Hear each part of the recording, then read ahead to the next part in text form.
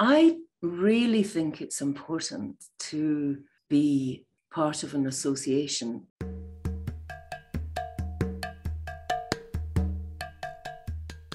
The first reason I would give is that it's quite lonely being a teacher.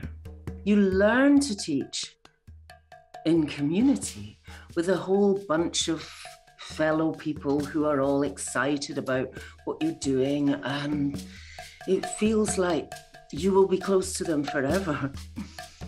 And then life gets in the way, and you could very easily end up just being a little one man band all on your own, trying to do your thing. Other thing I would say is that when you're a teacher in training, you have very close connections with your teachers.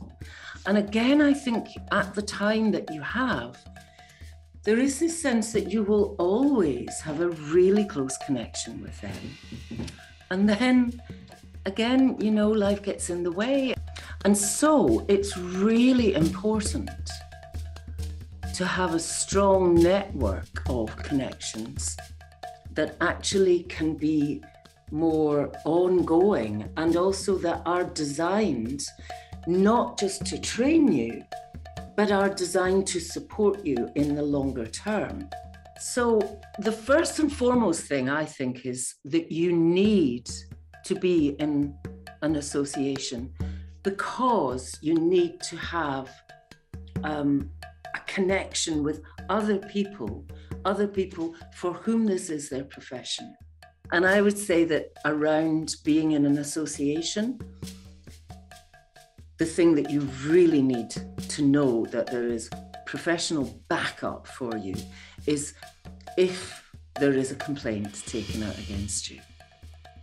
It's really crucial that there are systems and processes in place so that the person who's doing the complaining is well held and well heard and that the teacher is not just left hanging out to dry, so that whatever that person says about them becomes the thing that's said about them.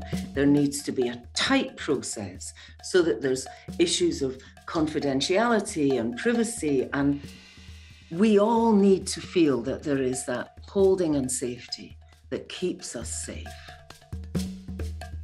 And then this third thing, which is keeping standards, just keeping an eye on standards, helping me keep an eye on my standards is a very good thing.